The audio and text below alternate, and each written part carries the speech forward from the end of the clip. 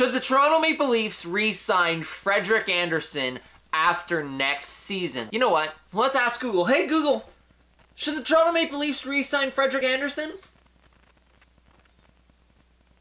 According to Wikipedia, Frederik Andersen is a Danish professional ice hockey Yep, goaltender he's- he's currently playing for the Toronto Yep, Maple Leafs he's of the currently National playing. Hockey Yeah, yeah, He has also played for the Anaheim Ducks. yeah. He did play for the Anaheim was a member of Denmark's national team. He was a member of Denmark. 2010 IIHF World Championship. But hey Google, should the Leafs sign Frederik Andersen? on the website NHL. Okay, I, I don't want to hear that. Before we get into the video about whether or not the Leafs should sign Frederik Andersen, subscribe if you enjoyed the video, leave a like, and if you want to see more content on the Toronto Maple Leafs, let me know, and let me know what kind of content you'd like to see down below in the comments section. Also, one more thing, if you enjoy the graphics in the video, let me know. I want to know if I should incorporate them more into the video so you don't have to see my face all the time. Let me know in the comments and leave a like if you do enjoy it, and if you feel cheeky, subscribe. Cheeky. I'm not from England, but I'm going to use that term anyways, cheeky.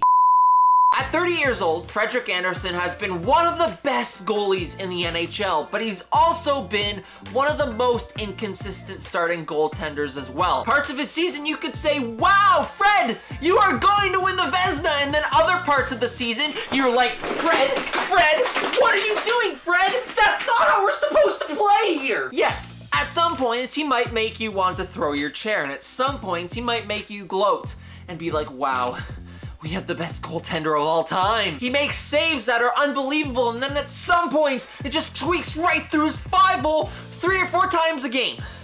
It may make you mad, and sometimes it may make you happy, but that's just the part of having a goaltender like Fred on your team. His numbers aren't bad. It's mostly a lot about consistency. Now we're gonna switch over to the graphic right now, and we're going to talk about his numbers on the Toronto Maple Leafs. In his first season with the Toronto Maple Leafs, the 2016-17 season, he had a 918 save percentage with 33 wins, which put him ninth in the NHL. The next season, though, the 2017-18 season was arguably his best season in the NHL. He had a 918 save percentage once again, but this time he had 38 wins, which put him fourth in the NHL that year. And then last year, similar numbers again, a 917 save percentage, 36 wins, again, puts him fourth. And then this season, a 909 save percentage, 29 wins, which again, which put him fourth in the NHL in that category. Oh, and also, he's had the third most wins in the NHL since joining the Toronto Maple Leafs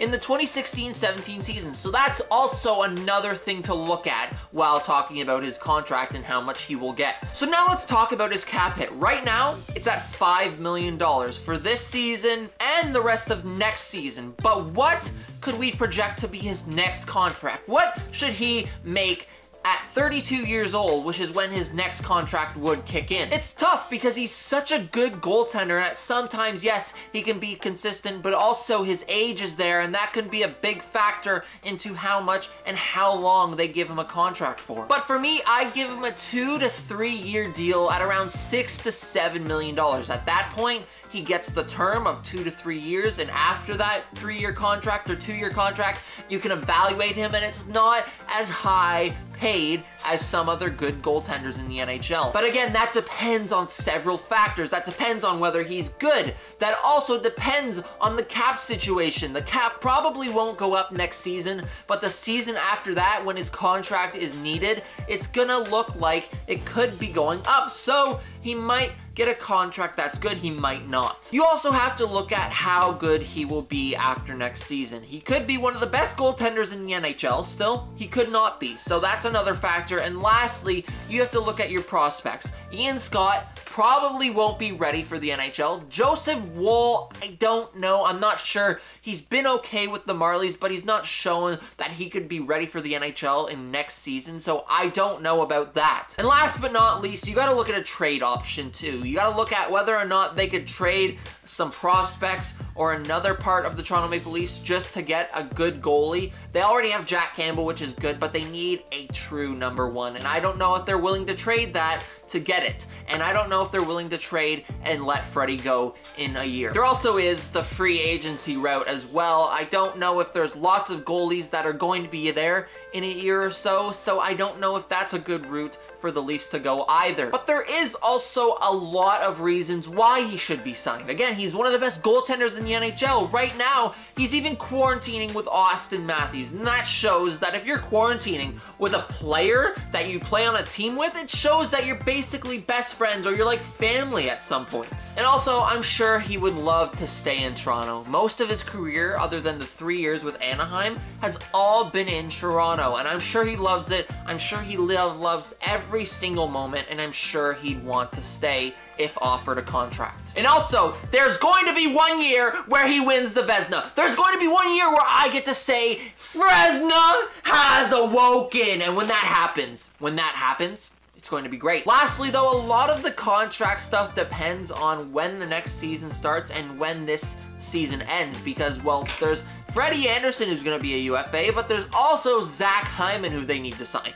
And Hyman's been good, and if he gets better, he's going to be looking for a big payday as well, and we'll be interested to see who gets the big one and who gets the one that may have them walk. But it's interesting because Hyman's from here, he loves it here, and so does Frederik Andersen. Could they sign both? Yes, it's very likely, but there is a slim chance that both of them don't get that contract here and one of them goes. But I'm hoping it's neither of them. I hope they both stay because I love them both and I need them both on my team, especially Freddie. I need him and especially Zach because he's he's Zach Hyman, one of the best players on the Toronto Maple Leafs. Kyle, I'm looking at you right now, face to face, human to human. Please sign them both. I know it's going to be hard, but I'm, I'm, I'm praying right now. Please sign them both. It's going to be a very interesting year and a half because I'd like to see whether or not they can get both Hyman and Freddie sign, and it's also going to be interesting to see how the next season goes and how the rest of this season ends. It's going to be fun, it's going to be exciting, hopefully the Leafs can get deep into the playoffs and maybe make a run, if not this year, next year, and let's hope they can. But now I want to know what you think. Do you think Freddie should be re-signed with the Toronto Maple Leafs, or do you think Kyle Dubas should let him walk and go get somebody else because of his age, because of something else, or tell me why you'd want him to sign. Let me know in the comment section down below. If you enjoyed the video, leave a like. If you really enjoyed it, subscribe. Freddie's going to stay. Zach Hyman is going to stay. Let's hope. Let's hope. Let, let's just...